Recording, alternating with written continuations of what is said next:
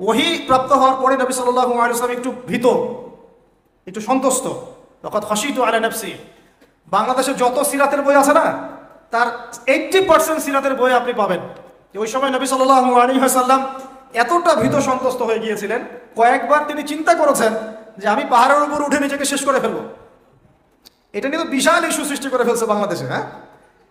আর রাহিবুল মাকতুম বলেন আর যে কোনো বড় বড় সিরাতের গ্রন্থ বলেন, এটা যদি লিখা না থাকছে, আমি বক্তব্য দেওয়া ছেড়ে দেব।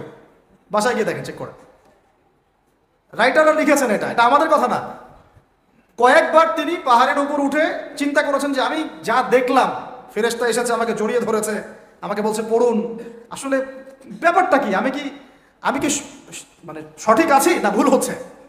মানসিক একটা পেরেশানির মধ্যে তিনি ছিলেন তখন। কয়েকবার নিজেকে শেষ করে ফেলার চেষ্টা করেছেন। যখনই তিনি উঠেছেন তখনই জিব্রাহিল ইসলাম সামনে এসেছে। ইয়া মুহাম্মদ, আপনি পাগল নন। আনতা রসুল্লাহ ওয়ানা জিবরিল। হে মুহাম্মদ, আপনি আপনি পাগল নন। আপনি হচ্ছেন আল্লাহর মনোনীত রাসূল আর আপনি জিব্রাইল। আপনি বিচলিত হবেন না। আরও একদিন আবার জিব্রাইল ইসলাম হাজির। এভাবে হতে হতে তিনি আশ্বস্ত হলেন যে হ্যাঁ আসলে যা হচ্ছে সব সঠিক। এটা কি একটা বড় ঘটনা না? এরপরে তিনি বাসায় আছেন, বেশ কয়েকদিন ওহি আসা বন্ধ আছে। আল্লাপাক প্রস্তুত করছেন তাকে। আল্লাপাক প্রস্তুত করছেন তাকে। কারণ ব্যাক টু ব্যাক ওহি আসতে থাকলে এটা একটা ওয়েট আছে। নেয়ার মতো ক্ষমতাকে তৈরি হতে হয়তো দ্বিতীয় ওহিটা আসছে, এটা আমি একটু আলোচনায় টাচ করে সামনে যাব। তিনি কম্বল কম্বল দিয়ে ঘুমিয়ে আছেন। আল্লাপাক ওহি পাঠালেন। যখন ওহি পাঠাচ্ছেন, খাদিজা রাদি আল্লাহ আনহা দেখছেন যে নবী সাল্লাহ আলাইসলাম একটু অস্বাভাবিক আচরণ করছেন। তিনি বলছেন, আপনি শুয়ে পড়েন রেস্ট নেন। নবীজি বলছেন, আমার এখন রেস্ট নেওয়ার সময় নাই। আল্লাহ পাক আমাকে বলেছেন, ইয়া মুদ্দাসসির হে কম্বল আবৃত রাসূল, কুম, উঠে দাঁড়ান ফাংজির মানুষকে সতর্ক করেন। তো কুম ফাংজির অর্থ মানে এই না যে বিছান থেকে উঠে মাটিতে দাঁড়ান। মানে হচ্ছে আপনার কাছে যা আসছে এটা সত্য। এটা দিনে হক, আল্লাহর পক্ষ থেকে আসছে। অতএব আপনি এই সত্যের বাণী নিয়ে সমাজের মধ্যে দাওয়াতে গেছে নেমে পড়েন। ফাংজির মানুষকে সতর্ক করেন। ও রব্বাকে ফাকাব্বির, আপনার রবের তাকবীর পাঠ করেন। ও সিয়াবাকা ফাতাহির আপনার কাপড় পরিচ্ছন্ন রাখেন। কাপড় মানে শুধু বাইরের পোশাক না, ভিতরের হৃদয়ের পোশাকটাও। ও রুজ যত অনর্থক বিষয় আছে, ছেড়ে দেন। ওলা তামনু তাস্তাকসির ওয়ালি রব্বিকা ফাসবির। কিছু পাওয়ার আশায় আপনি কাউকে সৎকা করেন না। কারও কাছে কিছু পাওয়ার আশায় আপনি সদাকা করেন না। বরং আপনার রবের জন্য আপনি সবর করেন। কত গভীর কথা। এটা নিয়ে কিন্তু আলোচনা খুব বেশি হয় না। আমরা আলোচনা করি প্রথম ওহিটা কি ছিল? এটা দ্বিতীয় ওহি ছিল। উঠুন উঠুন, সতর্ক করুন। আপনি আপনি যা ভাবছেন এরকম কিছু না। আপনি নবী, আপনি শেষ নবী। এই মহাবিশ্বে আপনার মতো কোনো নবী আসে নাই। আপনি সর্বশ্রেষ্ঠ নবী। আপনি সর্বশ্রেষ্ঠ আখলাকের অনুসারী। আপনার উম্মত হচ্ছে সর্বশ্রেষ্ঠ উম্মত। আপনি উঠুন, মানুষকে সতর্ক করুন। কাপড় পবিত্র রাখুন, অনর্থক বিষয় ছেড়ে দেন। আল্লাহর জন্য সবর করেন, আল্লাহর জন্য তাকবীর পাঠ করেন বলেন আল্লাহ আকবার। এই শুরু হলো মিশন এই মিশন শুরু হওয়ার পরে তেরো বছর, কয় বছর ভাই? তেরো বছর মক্কায় তিনি প্রথম তিন বছর গোপন দাওয়াত দিয়েছেন, তারপরে প্রকাশ্য দাওয়াত দেওয়া শুরু করেছেন।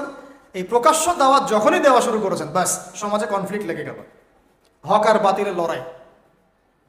তিনি যাদেরকে নিয়ে দাওয়াত দিচ্ছেন, Abu Bakr Siddique, Osman bin Affan Abdur Rahman bin Auf, Talha bin Ubaidullah Saad ibn Abi Waqqas হ্যাঁ বেলাল ইবন রাবা, আবদুল্লাহ বিন মাসউদ, এরকম সাহাবি।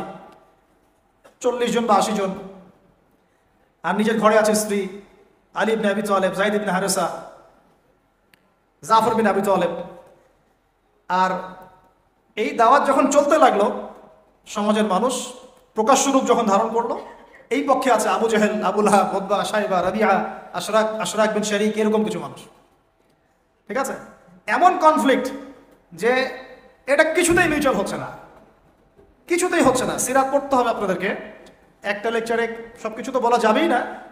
সময় আমাদেরকে অ্যালাউ করবে না, পাশাপাশি আমারও এনার্জি কুলাবে না।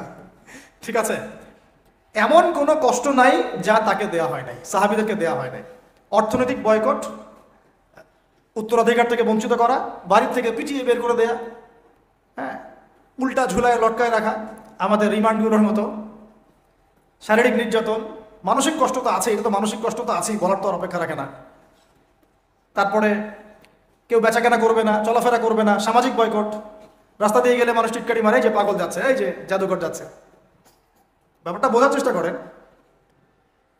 মানে এমন কোনো নির্যাতন নাই যা করা হয় নাই। আমি ক্ষুদ্র কাটে দেখেছি প্রায় চোদ্দ বা পনেরো বার আল্লাহ নবী সাল্লাহ আলী হাসাল্লামকে হত্যা করার চেষ্টা করা হয়েছে। প্রায় চোদ্দ, পনেরো বার তাকে হত্যা করার চেষ্টা করা হয়েছে। আর তাকে সারা জীবনে প্রায় এরকম পনেরো, ষোলোটা গালি খেতে হয়েছে। সারা জীবনে কাকে খেতে হয়েছে? যে মানুষের আগেও কোনো গোনাহ নাই, পরেও কোনো গোনাহ নাই। যিনি সব কষ্ট করছেন শুধু উম্মতের জন্যে।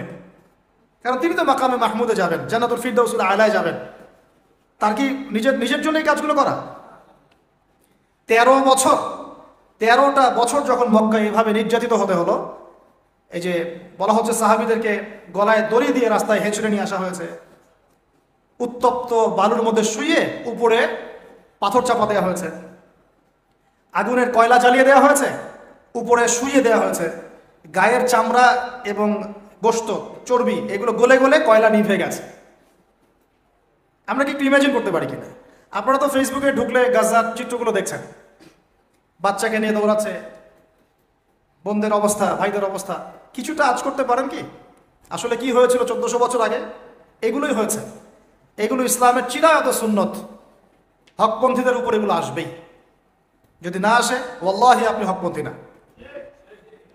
ওল্লাহি আপনি হকপন্থী না। আপনি প্রোটেস্ট্যান্ট ভার্সন অফ ইসলামে আছেন অথবা মডারেট ইসলামে আছেন। এটাও ঠিক, ওটাও ঠিক। আমি মাঝামাঝি থাকব। আমি এটা ফখর করে বলছি না। পশ্চিমের কয়েকটা কান্ট্রি থেকে আমাকে অফার করা হয়েছিল, মালয়েশিয়া সফরের পরে। যে আমাদের এখানে আসেন, দাওয়াতি কাজ করেন। মানে দাওয়াতি কাজ করেন মানে কনফারেন্স এইভাবে কনফারেন্স করেন। মালয়েশিয়া যেমন হয়েছে আমরা আয়োজন করতে যাচ্ছি। সাত দিনের জন্য আসেন, তিন দিনের জন্য আসেন। ঠিক আছে? তা আমি বললাম যে, আমার লেকচার কি শুনছেন কোনোদিন আপনারা? তো বলে, না, বিভিন্ন ক্লিপ দেখেছি, পুরো লেকচার তো শোনা হয় নাই। তা বললাম যে, আগে ইউটিউব চ্যানেল থেকে সব লেকচারগুলো শুনেন। তারপর যদি মনে হয় যে, ওখানে গেলে আমি সেফ তাহলে নিয়ে যান। যদি মনে হয় যে, এইসব লেকচার দেওয়ার পরে ওই সভ্যতায় গিয়ে কেউ সেফ থাকতে পারে, আমাকে আবার গুয়ান্তানামায় পাঠিয়ে দিবে না, আবু গারিব কারাগারে পাঠিয়ে দিবে না, তাহলে নিয়ে যান। তো এখন পর্যন্ত আর রেসপন্স করেন নাই। তো মডারেট ইসলামের সুযোগ নাই ইসলামে। ইসলাম ইসলামী। পশ্চিমা আদলে আমরা মডারেট হয়ে যাব। ওদের আদর্শ চলবে, আমাদেরটাও চলবে। তালগোল পাকায় একটা ভীষণ টোয়েন্টি থার্টি বানাবো। এইসব ইসলাম চলবে না। বুঝতে পারছেন না কথা? ইসলাম চির প্রাচীন, চির নতুন, চির আধুনিক। এর কোনো ব্যতিক্রম ব্যত্যয় নাই। ওর মূলনীতির কোনো পরিবর্তন হবে না। ওর মূলনীতি মূলনীতির জায়গায় থাকবে। কিন্তু হয়তো প্রযুক্তিগত উন্নয়ন হতে পারে, শাখা প্রশাখাগত কিছু ফুরোরই পার্থক্য আসতে পারে, কিন্তু আসলি কোনো পার্থক্য আসবে না।